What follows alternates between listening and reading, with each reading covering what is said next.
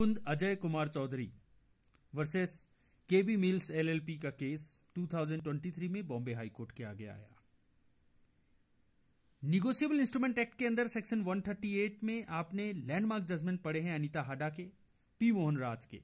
और ये जान लिया है कि ऐसा नहीं है कि कंपनी 138 के अंदर लायबल नहीं होती चेक बाउंस के लिए। डेफिनेटली जो मैनेजिंग डायरेक्टर हैं, जो मैनेजमेंट के इंचार्ज में हैं, वो सारे लायबल होते हैं। लेकिन क्या यह किसी तरह से कॉन्फ्लिक्ट में आता है? Section 14 IBC code 2016 IBC code देखो बॉम्बे आपको पता इकोनॉमी कैपिटल है, वहाँ बड़े बड़े नीरव मोदी या विजय मालिया जब भी कोई उधार लेते हैं तो एज ए कॉर्पोरेट डेटर लेते हैं कॉर्पोरेट पर्सनैलिटी जब डेटर बन जाता है तो उसको एक सेक्शन 14 आईबीसी कोड प्रोटेक्ट कर लेती है। कैसे प्रोटेक्ट करती है?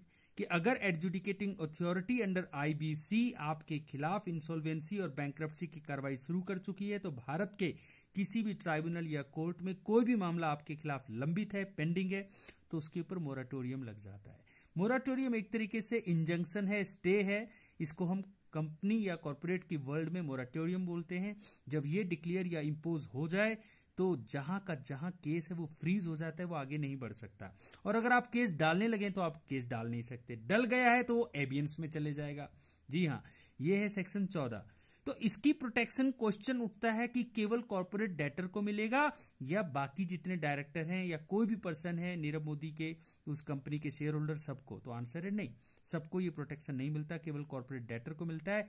बाकी सेक्शन 141 निगोशियबल इंस्ट्रूमेंट एक्ट में जो जो पर्सन लिखे हुए हैं कॉर्पोरेट वर्ल्ड के कॉरपोरेट या कंपनी के, उनके खिलाफ ये केस चलता रहेगा। केवल कॉर्पोरेट डेटर जो डिक्लेयर हो चुका है मोराटोरियम जिसके फेवर में डिक्लेयर हो गया है वो फ्रीज हो जाएगा, वो पेंडिंग वहीं का वहीं स्टे हो जाएगा एबियंस हो जाएगा। अगर केस डालना चाहते हो तो आप डाल नहीं सकते। धन्यवाद।